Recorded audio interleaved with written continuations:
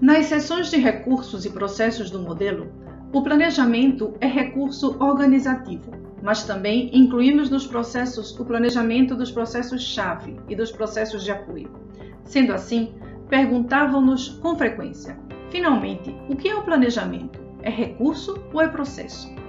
Embora a primeira ideia seja identificar recursos com dinheiro, após explicar o sentido do termo recursos, todos compreendemos o que vamos falar. Às vezes acontece que temos maiores dificuldades com o termo processo.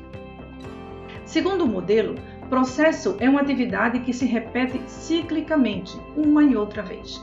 Na atividade diária, vocês têm muitas atividades que se repetem periodicamente. No que respeita ao modelo, temos que analisar e planejar as atividades fundamentais que têm que ver com os processos base, principais ou de apoio da cooperativa.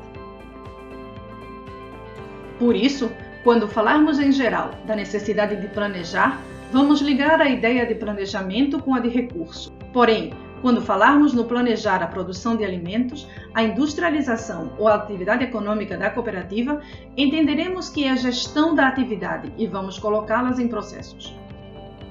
Mas, talvez mais importante do que classificar o termo planejamento seja ter clareza em relação à atividade de planejamento. Ou seja, que o planejamento não pode ser bem sucedido se não houver equilíbrio entre os objetivos que queremos atingir, os recursos e pessoas que temos e a capacidade para organizar as atividades da cooperativa.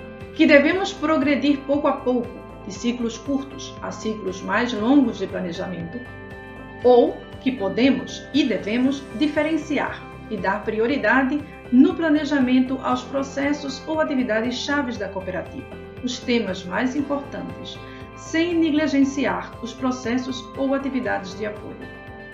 Que devemos engajar e abranger progressivamente no planejamento todos os setores, grupos e pessoas da cooperativa. Se jogarmos desse jeito, estaremos no caminho certo.